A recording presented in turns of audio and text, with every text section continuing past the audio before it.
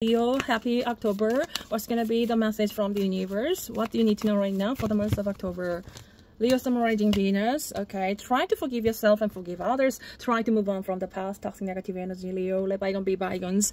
And move forward to the next chapter, next chapter of your life in the month of October whatever is happening at the very moment on the surface level, you have all the wisdom and inspiration within yourself how to overcome the obstacles, okay? If it, if it is necessary, try to listen to a lot of inspirational speeches or podcasts or YouTubes to boost your energy. You can overcome any obstacles in the month of October.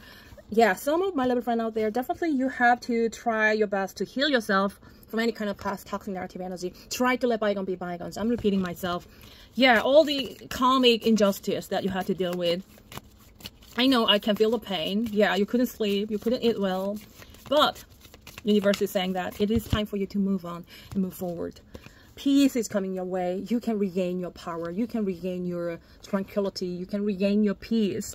And definitely, definitely in no time, in the month of October, you will attract many fast, beautiful new beginning, right? Happiness is coming your way, my love, with this clarity aha moment you will understand that all the injustice, the karmic injustice that you had to suffer in the past was only to make you stronger, only to make another version of yourself, the better version of yourself. Aha moment is coming your way and you will try, you will definitely going to find the happiness from within, not from outside world, not from outside groups or families or loved ones.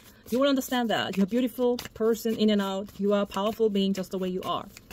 That will give you true happiness and peace oh my gosh sorry guys and uh, we have this home and psychic abilities home symbolize your body mind and soul. And psychic abilities definitely in the month of october my love. Try to go within to answer a lot of questions. Who am i? Yeah deep profound questions. What am i supposed to do in this lifetime? What's my life purpose? By doing so you can attract the beautiful happiness and you can attract the beautiful peace. And also along the way by asking a lot of questions, you will find authentic, true, new way to the happiness, including financial health. Financial health is coming your way. Oh my gosh. I really hope this message was helpful for you. Beautiful message. Beautiful month is waiting for you. Happy October.